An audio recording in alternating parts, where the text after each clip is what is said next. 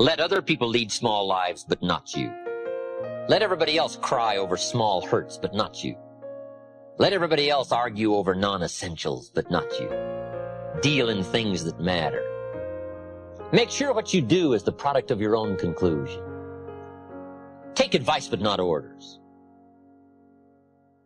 Let everybody around you be helpful, but then put that through your own mental computer and make sure what you do is the product of what you've concluded based on all the input. All of us should be students of inevitability. Without kidding myself, if I keep up my current daily practices, where will it take me in 10 years without being disillusioned? I don't want to just cross my fingers and walk the wrong road. I got to learn to look into the future called inevitable. Let's take a few minutes to talk about the importance of knowing yourself enough to be your best cheerleader.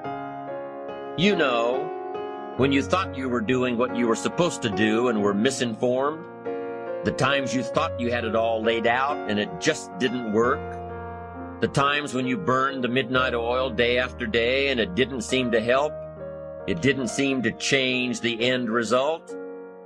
These are the times that you have to rely on your own self-encouragement.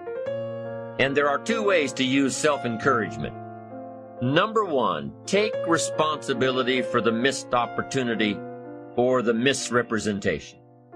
Learn from the fact that even though your client wanted it one way and you presented it the right way, it didn't work. Be prepared for the letdowns that happen every so often. Know that this lost opportunity just sets you up better for the next one. Realize that you can make the necessary alterations next time. Make the changes that will make the difference. Study your mistakes and learn from them. Don't dwell on the mistakes. Acknowledge them. Learn from them. Encourage yourself that you're smarter than your bank account leads you to believe. The second way to use self-encouragement, remind yourself that you're bound to get better. Don't get down on yourself. Don't beat yourself up. It's the next opportunity that matters, not the last one, the next one.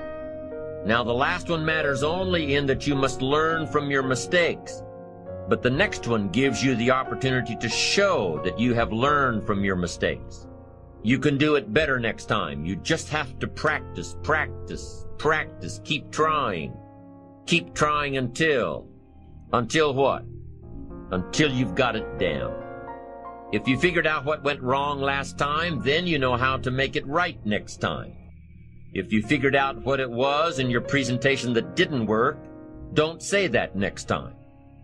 If you figured out that the reason you didn't close the deal this time was because you didn't have all the facts and figures in place, have all the facts and figures in place next time. Don't beat yourself for messing up. Pat yourself on the back for figuring it out. You need to encourage yourself. You need to pump yourself up. You need to be your own cheerleader. Why? Because you can't wait and hope that someone else will come along and cheer you up, make you feel better, tell you that you'll do better next time. You have to rely on yourself. You have to have faith in yourself and your ability to figure out what works and what doesn't, what's right and what's wrong.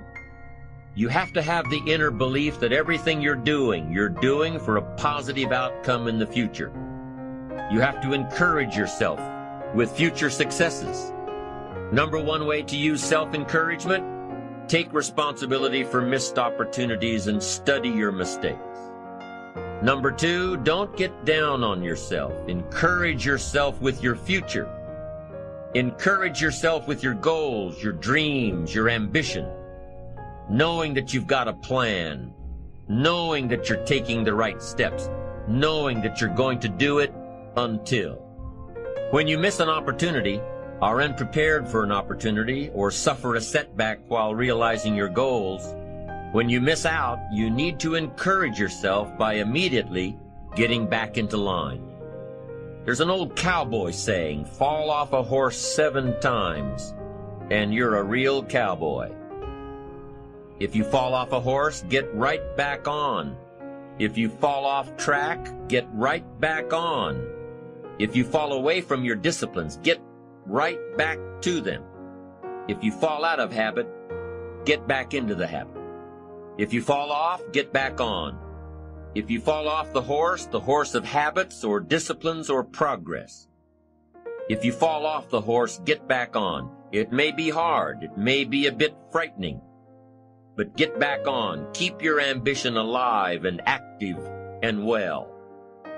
We must all suffer one of two pains, the pain of discipline or the pain of regret.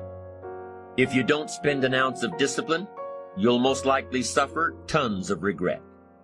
Discipline weighs ounces, regret weighs tons.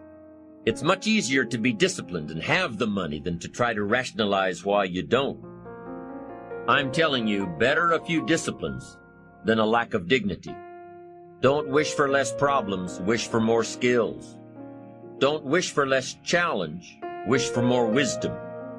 Don't wish for it to change out there. Develop yourself to the point that you can truly and totally rely on yourself.